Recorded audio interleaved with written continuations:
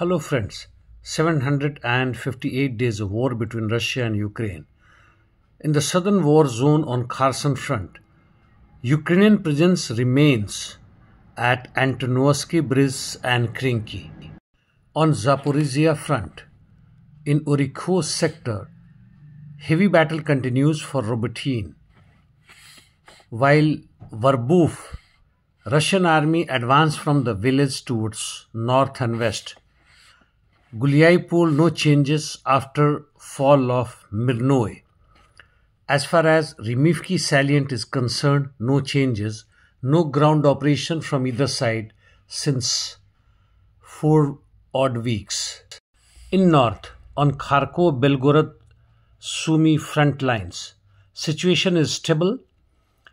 The cross-border fire and ground operations have reduced to minimum though Ukrainians are still bringing their reserves and arms and ammunitions.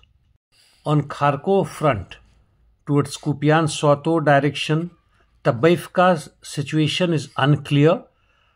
After its fall, it seems that Ukrainians have regained some of the positions. Sinkivka, no changes. Kreminna Liman direction, Russian army continues moving towards Terny direction. Coming to east, in North Soledar Siversk direction, fight is on towards southeast of Belgorod. Bakhmut by and large no changes. Krasnoye Ukrainians still hold little bit of western part of the village while fight continues for Bogdanovka. In southern flank, Klishivka no changes. Avdiivka Russians have been advancing and still continuing their offensive operations starting from Berdichi, Udlovka and Tonenko where they have advanced all along and also they have advanced towards Semyonovka. In north, Russian offensive operations along with Ukrainians counter-offensive continues towards Novokalinovo while in southern part the fight is on in the northwest of Nevelsky. Pervomaisky no changes. Marinka west of it Russians have made again some gains towards Georgievka while in north towards Krasnogorovka no changes. In south Novomikhailovka fight is on and Russians made some advance towards northern side as per ISW Pobeda, no changes. Palestine, Israel, Middle East, IDF continues its operation in and around Shifa Hospital. Hezbollah launched more than 10 rockets inside Israel, while Islamic resistance in Iraq claims to have hit a power plant in Tel Aviv. Houthis have confirmed that Russian and Chinese ships can freely enter Gulf of Aden and cross Red Sea this is their attitude since beginning of the war.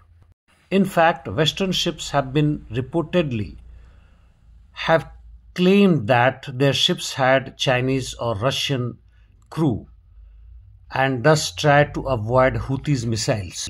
Finally, what Irish Prime Minister had to say when he was in USA in front of Biden and after returning back he has offered to resign. He said, we see our history in the eyes of Palestinians as a story of homelessness, deprivation, a rejected national identity, forced migration, discrimination, and now hunger. My salute to him.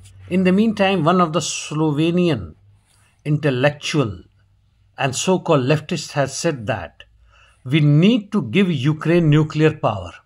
Look at him.